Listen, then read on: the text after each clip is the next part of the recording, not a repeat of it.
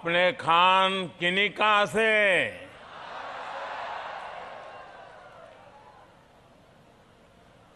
दिमापुर में दूर सुदूर से पहुँचे सभी साथियों को मेरा नमस्कार। नागालैंड की सांस्कृतिक विविधता से मैं हमेशा प्रभावित रहा हूँ। आपका ये प्यार देखकर बहुत अच्छा लग रहा है। नॉर्थ ईस्ट के लिए, नागालैंड के लिए, कांग्रेस उसके पार्टनर्स की पॉलिसी रही है, वोट पाओ और भूल जाओ। कांग्रेस के, दिल्ली के नेता नागालैंड की तरफ़ देखते तक नहीं है। कांग्रेस के लोगों ने नागालैंड की सरकार को दिल्ली से रिमेट कंट्रोल से चलाया। इसका कारण ये है कि दिल्ली में पहले फैमिली फ़र्स्ट वाली सोच थी। दिल्ली से लेकर दिमापुर तक इन लोगों ने परिवारवाद को ही प्राथमिकता दे रखी थी।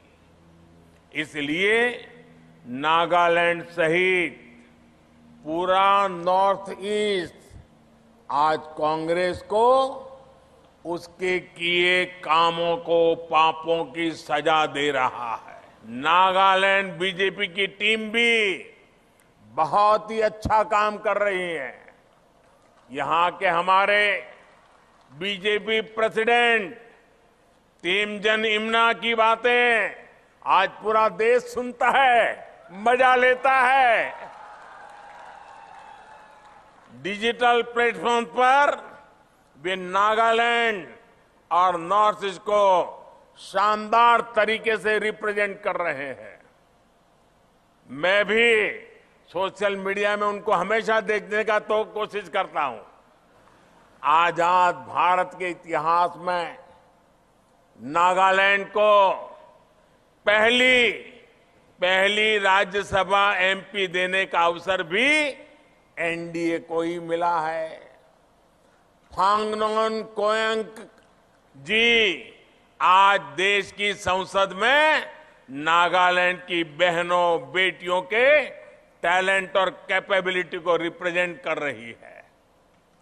इसके अलावा ये महिलाओं को सम्मान देने वाले नागा कल्चर का भी सम्मान है। ये रानी गाइडिनल्यू के प्रति भी हमारी सच्ची श्रद्धांजलि है। और ये मेरा सौभाग्य है कि मुझे गुजरात में रानी गाइडिनल्यू जी का स्वागत करने का सौभाग्य मिला था। जब मैं राजनीतिक जीवन में नहीं था, मैं सामाजिक जीवन में काम करता भाजपा सरकार न रीजन को लेकर के भेदभाव करती है और ना ही रिलीजन को देख करके भेदभाव करती है। बीजेपी, एनडीपीपी के हर उम्मीदवार को आप भारी मतों से जिताएँ और मुझे भी नागालैंड की सेवा करने की अधिक ताकत दें। इसलिए मैं आज आपके पास आया हूँ। ताकि मैं गाँव बूढ़ों को जो वादा किया है, मैं हर दिन उस वादे को पूरा करना चाहता हूँ। नागालैंड की जनता को मैंने जो वादे किए हैं, वो हर वादे में पूरा करना चाहता हूँ।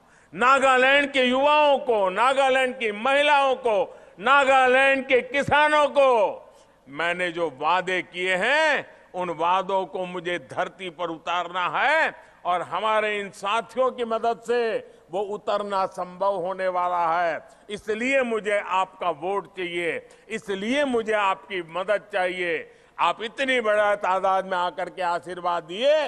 मैं आपका बहुत बहुत आभारी हूँ। बहुत बहुत धन्यवाद।